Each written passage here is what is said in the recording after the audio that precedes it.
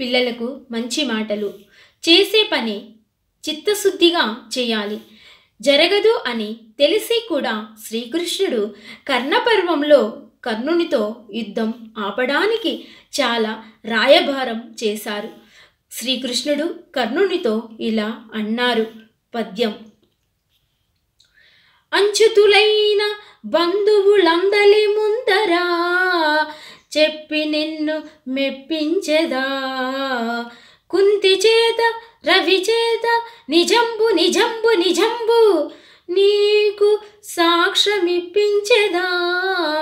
పల్గున ప్రముఖ వీరులు కొలవగా ఎల్ల భూమి ఏలించెదా? అచ్చకీర్తి విమలీకృత సర్వ దిగంబంతరన్ భావం. శ్రీకృష్ణుడు కర్ణునితో బంధువుల అందరి ముందర నిన్ను రాజుగా మెప్పిస్తాను. కుంతికి సూర్యుని వల్ల కలిగిన పుత్రుడు కర్ణుడు. కాబట్టి కుంతి చేత రవి చేత నిజంగా నీకు సాక్ష్యము ఇప్పిస్తాను. అర్జునుడు మొదలైన వారు నీకు సేవ చేయగా ఈ భూమిని అంత పరిపాలింపచేస్తాను అయ్యా అని అన్నారు. శ్రీకృష్ణుడు శాంతి కోసం నెత్తురు ధారపోశాడు. భగవద్గీత ధర్మం కోసం పుట్టింది. ధర్మం కోసం యుద్ధం చేశారు. శ్రీకృష్ణుడు శాంతి కోసం ఇంత ప్రయత్నం చేశాడు.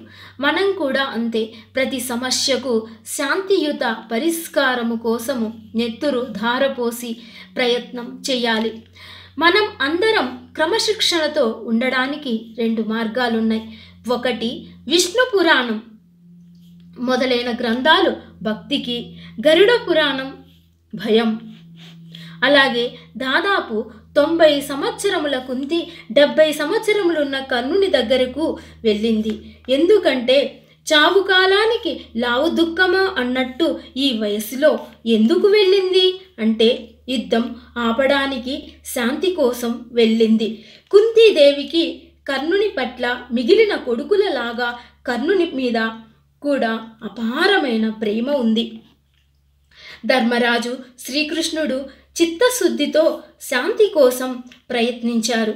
కానీ కౌరవులు మాట వినలేదు సంధి జరగలేదు. కానీ పాండవులకు బాధ కలుగలేదు. ఎందుకో తెలుసా? ఎందుకో తెలుసా? మన ధర్మం మనం చేశాము. ఆ తర్వాత వారి ఇష్టం అన్నారు. అంటే ధర్మాన్ని పాటిస్తే అది జరగకపోయినా బాధ ఉండదు. అందుకే ధర్మ ప్రయత్నం వల్ల జరిగిన మేలు జరగకపోయినా బాధ లేదు. ఈ వాక్యాన్ని మనము కూడా గుర్తు పెట్టుకోవాలి. వివేకానందుల వారిని ఎవరైనా పొగిడినా అది నాది కాదు మా గురువుకు తెలుసు అనేవాడు. వివేకానందుడు ఏ పని అయినా చెయ్యాలంటే ఈ క్రిందివి ఉండాలి అని చెప్పారు. ఒకటి అమితమైన ఉత్సాహం. రెండు అపరిమితమైన ధైర్యం మూడు. అనంతమైన శక్తి నాలుగు. పరిపూర్ణమైన విధేయత ఉండాలి అని అన్నారు. పై నాలుగు ఉంటే నీవు అనుకున్న ప్రతి పని అవుతుంది. ముందు నీకు చెయ్యాలనే ఉత్సాహం ఉండాలి. తర్వాత అపరిమితమైన ధైర్యం ఉండాలి. ఏమి జరిగినా సరే ఇది చేస్తా అనే ధైర్యం ఉండాలి. నీ సంకల్పం అనంతమైన శక్తి. అది ఎక్కడి నుంచి వస్తుంది? అనంతమైన శక్తి భగవంతుని నుంచి వస్తుంది. అందుకే ధ్యానం జపం చేయాలి. అంటే నీకు ఇష్టం అయిన దేవుని పేరు అనుకుంటూ ఉండాలి. గంట సేపు అయినా ఇంటిలో ఒంటరిగా కూర్చోవాలి. తలుపులు మూసుకోవాలి. ఫోన్ స్విచ్ ఆఫ్ చేయాలి. ఎవరు నన్ను పలకరించవద్దు అని చెప్పాలి. ఎవరన్నా ఏమన్నా అనుకుంటారని మీరు అనుకుంటున్నారా? ఎవరు ఏమనుకున్నా పర్వాలేదు. మనల్ని యముడు ఏమీ అనుకోకుండా చూసుకోవాలి. జీవితంలో అన్నింటికంటే ముఖ్యం ఇది.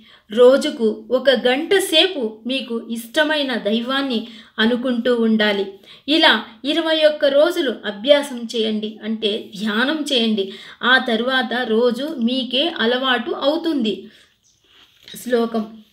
సహస్ర యుగ పర్యంతం ఆహార్యద్రహ్మణో విదు రాత్రిం సహస్రాంతం తే అహోరాత్ర విదోజన భావం.